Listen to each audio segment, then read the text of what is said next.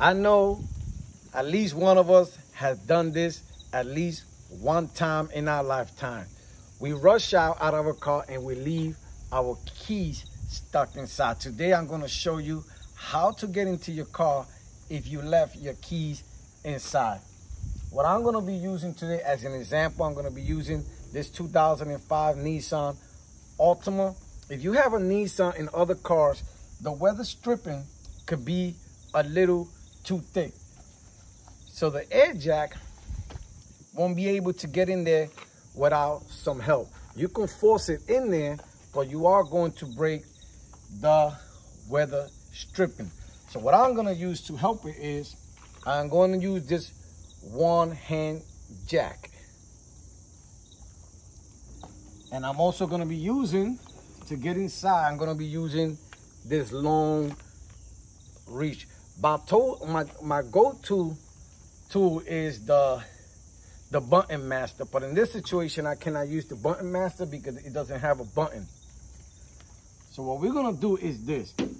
Because our air jack needs some help. We can take this jack and you can put a rack for you won't scratch your car and all you have to do is take this part and just go back and you can push it back and this will go out and then you can put the air jack inside. So let's see how it goes.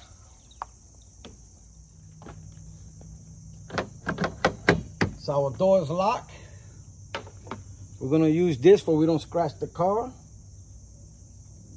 And we're gonna use the end of the one hand jack.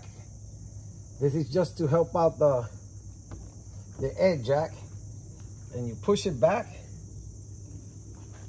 Take the air jack you're gonna push it in. Make sure it goes in, you see it? You remove this and you start inflating it.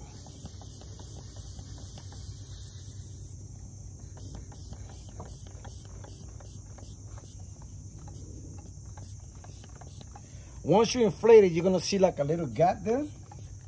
You want enough space for you to have your long reach, reach the door handle that's over here. And all you do is put it in.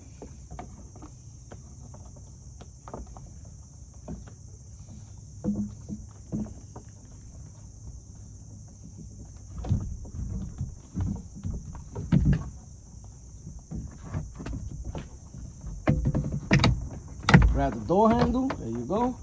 On these Nissan, you have to pull hard, so there you go. So you have open the door on your Nissan Altima in order to get access to your keys.